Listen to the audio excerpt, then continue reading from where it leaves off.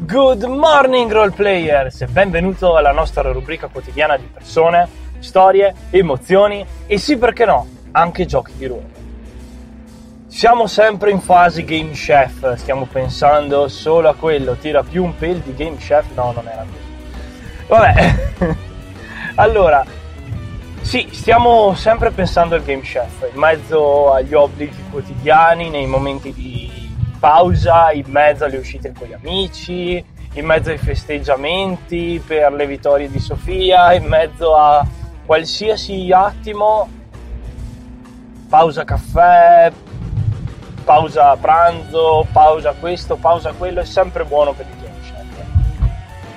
E la macina delle idee continua, però ovviamente si arriva ad un punto in cui ci si incaglia, ovviamente per me è abbastanza naturale arrivare ad un punto in cui ci si blocca e, e praticamente non è più possibile continuare se non cambiando completamente idea sulla quale ci si era appena sulla quale ci si è bloccati. Quindi scartarla e trovarne una nuova. Oppure trovare quella chiave di volta quel, quello svincolo quel, quel, quella grande idea che ti fa che ti fa insomma andare bene. Ma siccome non sono un genio, eh, io almeno le grandi idee insomma faccio molta fatica. Ed è per questo che, come detto la puntata precedente ieri, mi sento che lavorando in coppia le cose stanno andando avanti molto bene. Parlando di grandi idee, in questo preciso istante c'è una cosa, un'idea che gira nella testa da, da ieri. Una cosa che secondo me al Game Chef può essere molto apprezzata. Può essere, come dire, potrebbe essere quella cosa che se usata sapientemente può anche assicurarci una buona posizione nella classifica dei giochi. Però è difficile da incastrare col tutto il resto, no? Avete avete, non lo so, un, un cavallo e un processore a multicore. E sapete che in qualche modo potete metterli assieme, però sono due cose completamente diverse. E quindi manca quello stacco, quella tecnologia di intermezzo per fare un cavallo cyberpunk, ok? Manca. E um, effettivamente è difficile riuscire ad accostare queste cose. È difficile, più o meno nella mia testa più o meno la metafora funziona. Eh, probabilmente nella vostra testa no e vi capisco benissimo, nella tua testa avevo fatto un patatrack e, e, e, e sono solo le 9 di mattina. Scusami se ti ho rovinato il pensiero logico creativo alle 9 di mattina. Diciamo, dai, dai, martedì alla fine. C'è tutto il tempo per riprendersi, no? Ecco, mi è mai successa una cosa? Ti è mai successa una cosa così?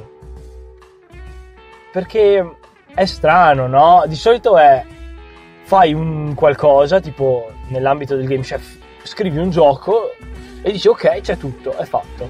Però manca quella scintilla, no? Quell'elemento di ah, questo è un gioco interessante, ha una meccanica fichissima, oppure ha una roba innovativa, oppure mamma mia l'uso di quella meccanica lì che di solito viene strutturata in questo modo, invece è destrutturata e ristrutturata in un'altra maniera che è molto più intelligente, molto... cioè...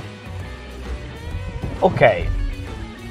Invece qua è il viceversa, no? È quando pensi di aver trovato la miniera d'oro, però l'oro, l'oro non, non, l'oro non si associa con, con, eh, con, i materiali più impuri, no?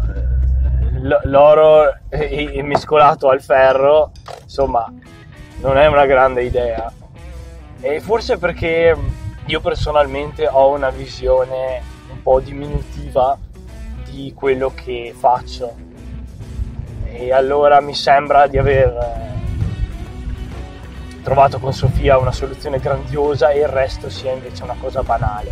In realtà il resto del gioco non è così, per quello che abbiamo creato finora, non è così banale, anzi è interessante.